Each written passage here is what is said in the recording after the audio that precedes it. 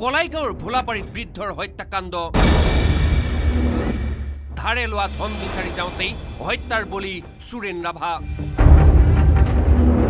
ক্ষুব্ধ ৰাইজে জ্বলাই দিলে হত্যাকাৰী কল্যাণ ৰাভাৰ ঘৰ। ৰাইজৰ সঞ্চয়ৰ ধন ধাৰে লৈ উভতাই দিয়া নাছিল কল্যাণ ৰাভাই।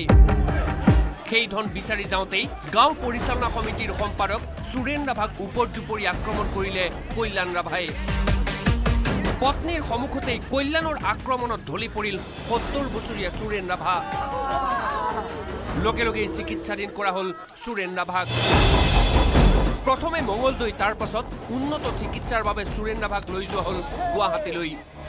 কিন্তু পাঁচ দিন চিকিৎসাধীন হৈ থকাৰ পাছত গুৱাহাটীতেই শেষ নিশ্বাস ত্যাগ কৰিলে সত্তৰ বছৰীয়া বৃদ্ধই একদম হাত চাত ফাটা দিলে মাথা চাথা একদম পূৰা হেৰি হৈ গ'ল। আৰু তেখেতে মাৰ ওচৰতে বেয়াকৈ মাৰিছে। মোটামুটি এক ঘণ্টালৈকে তেওঁ কাকো চুবলৈ দিয়া নাই আৰু এই কোনো হেৰি প্ৰটেকশ্যন ল'ব দিয়া নাই। অঁ আগে পিছে বহুজনক মাৰিছে তেখেতৰ নিজৰ দেউতাককো মাৰিছে। সুৰেন ৰাভাৰ মৃতদেহ লৈ পৰিয়ালৰ লোক গাঁৱত উপস্থিত হোৱাৰ পাছতেই উত্তেজিত হৈ পৰিল ৰাইজ। মৃতদেহ লৈ সমদল কৰি ভোলাবাৰী গাঁৱৰ ৰাইজ উপস্থিত হ'ল। হত্যাকাৰী কল্যাণ ৰাভাৰ ঘৰত। ক্ষুব্ধ ৰাইজে জ্বলাই দিলে কল্যাণ ৰাভাৰ ঘৰ।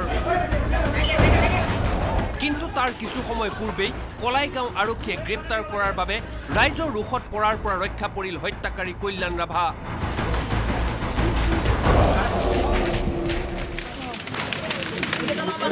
ৰাতিপুৱা মই খবৰ পোৱাৰ লগে লগে যে আছামীটো ঢুকাইছে কিন্তু মোক কনফাৰ্ম ৰাতিহে দিছে সন্ধিয়াহে দিছে। দিনটো কনফাৰ্ম নাই তথাপিও মই আছামী ৰাতিপুৱা অকলে আহি ঘৰৰ পৰা উঠাই নি থ্ৰী জিৰ' ছেভেনত আছামী মই চালান দিছোঁ। হত্যাকাৰী কল্যাণ ৰাভাৰ বাসগৃহ জ্বলাই ছাৰখাৰ কৰাৰ পাছত আৰক্ষীয়ে সুৰেন ৰাভাৰ মৃতদেহ চমজি লৈ সম্পন্ন কৰিলে মৰণোত্তৰ পৰীক্ষা। কলাইগাঁও ভোলাবাৰীৰ দৰেই দুধনৈ দামৰা পথত সংঘটিত হ'ল আন এক চাঞ্চল্যকৰ হত্যাকাণ্ড।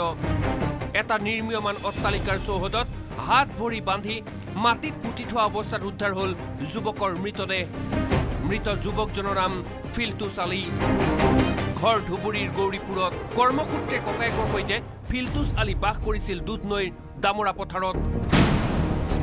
ফিল্টুছক হত্যা কৰাৰ সন্দেহত দুধনৈ আৰক্ষীয়ে সোধা পোছাৰ বাবে আটক কৰিছে তিনি শ্ৰমিকক।